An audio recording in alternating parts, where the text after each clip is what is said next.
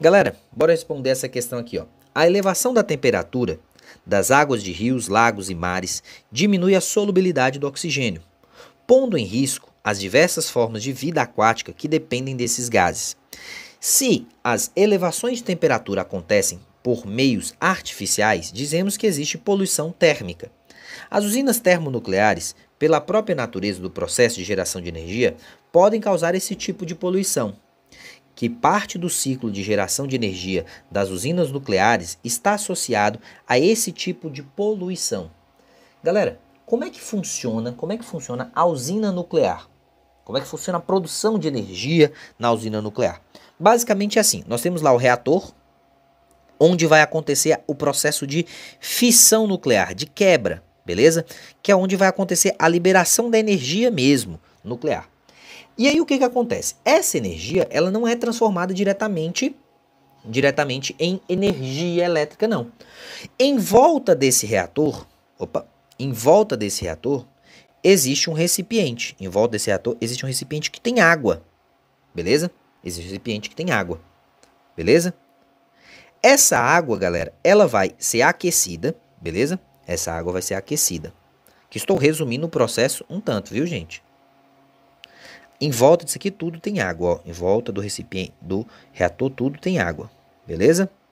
É um resumão, galera. Isso aqui é resumo do resumo do resumo. Em volta do reator existe água, certo? Essa água vai ser aquecida, essa água vai ser aquecida, tudo bem? É pelo, pelo reator. O reator está fazendo a reação, está esquentando, vai produzir. Essa água quente, ela vai ser direcionada, galera, tudo bem? Ela vai ser direcionada para onde? Ela vai virar vapor e vai ser direcionada para uma turbina. Para uma turbina. Para uma hélice, beleza? Essa água quente, essa água quente vai rodar, vai fazer com que esse, né, esse essa turbina, esse motor, essa hélice rode, né, gerando assim energia cinética. Esse reator, ele está conectado, ele está conectado a um gerador. Um gerador de eletricidade normal, igual vocês aprendem lá em física, que movimenta, né, ímãs, que vai ter movimentação de campo magnético, tudo mais e tal. Então o que que acontece? Esse essa turbina vai estar tá ligada no gerador que vai produzir energia elétrica. Igualzinho acontece na usina eólica, igual acontece em um dínamo que você coloca no carro e tudo mais. Só que aí o que que acontece? Esse vapor, esse vapor, ele vai passar. Só que aqui ele vai passar agora, ele vai ter menos energia, né? Ele vai ter menos energia. E aí o que que acontece? Essa energia, opa, esse, essa água que vai passar aqui, apesar dela ter menos energia, ela ainda continua quente. Ela ainda continua quente, certo? E aí essa água quente, o que, que ela vai fazer? Ela vai, nós vamos pegar ela e vamos retornar ela para o sistema. Nós vamos pegar ela e retornar para o sistema. Só que se eu retornar ela para o sistema, essa água aqui, ela vai estar tá quente ainda. E, a água quente ela não vai aquecer tanto lá inicialmente, e ela se não aquecer tanto inicial, igual inicialmente, o processo, vamos dizer assim, vai, não vai ser tão eficiente. Então, o que, que acontece aqui? É feito o seguinte. É feito o seguinte. Nós pegamos, nós pegamos aqui, ó, e fazemos o seguinte. Nós temos que ligar aqui, né, esse recipiente lá. É feito o seguinte processo entra um outro circuito que passa aqui do lado, ó. Um outro circuito passa aqui do lado. Bem coladinho. Bem coladinho mesmo. Com esse aqui. Onde vai pegar água, por isso que geralmente as usinas nucleares ficam próximos a lagos e rios. Pega água de lago e rio que passa aqui do lado. Para que, que essa água do, do lago, rio, mar, né? No caso, por exemplo, Angra dos Reis é, é o mar, né? Angra dos Reis lá fica do lado do mar, né? O que que acontece aqui? Acontece o seguinte, a água, ela vai entrar fria, ela vai entrar fria e vai sair quente, e vai sair quente. Vai sair, vai entrar fria e sair quente. Por quê? Porque a água fria ela tá roubando o calor, só o calor.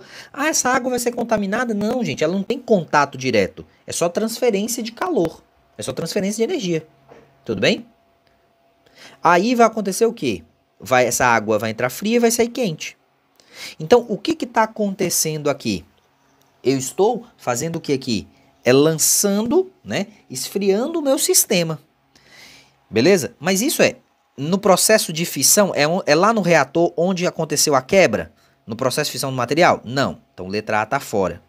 Beleza? Tá fora. Isso aqui tá acontecendo o quê? Olha só, aqui virou vapor. Não foi virou vapor que eu falei? Aqueceu a água, virou vapor, movimentou a turbina. Esse vapor ainda é vapor, ele tem que fazer o quê? Ele tem que voltar a ser água. Ele tem que voltar a ser água. Para ele voltar a ser água, tem que fazer o quê? Eu tenho que condensar a água. Então é a condensação do vapor da água no final do processo. Opa, tá certinho então, né? Eu vou pegar o vapor e tornar ele água de novo para voltar lá pro processo. Mas foi no final do processo aqui, ó. Depois já aconteceu tudo. Beleza? Letra C, conversão de energia nas turbinas pelo gerador? Não. A turbina e o gerador é fora, né? Não tem nada a ver aqui. Tem nada a ver. Tem nada a ver. Aquecimento da água líquida para gerar vapor. Não. O aquecimento da água líquida para virar vapor é dentro do reator aqui, né? Perto do reator aqui, ó. Não é isso? Então não estou jogando água quente no mar lá por causa disso, não. Então não é isso, não. Beleza? E letra E, lançamento de vapor da água sobre as pás da turbina. É porque eu estou jogando vapor aqui que está esquentando o mar, o lago, o rio? Não. Não tem nada a ver, né? Tem nada a ver. Então, onde é que a gente tem o processo, né, que gera, que aquece a água que vai ser jogada no mar, no rio, no lago? É durante esse processo que a gente transforma o vapor de água que acabou de passar pela turbina em água novamente para voltar lá para o sistema. Beleza? Isso aqui, gente, de novo, é um resumo bem grande do que, que acontece no processo da usina nuclear. Mas é isso aqui, tá bom? Então, a gente tem esse processo de condensação da água aqui, ó. Da água fria virando água quente. Não é isso? Então, resposta nossa, letra B. Letra B. De buenas, galera? De buenas? Então, esse aí foi o processo, né? Esse aí foi o processo que a gente teve de transformação de energia aí. Tá bom?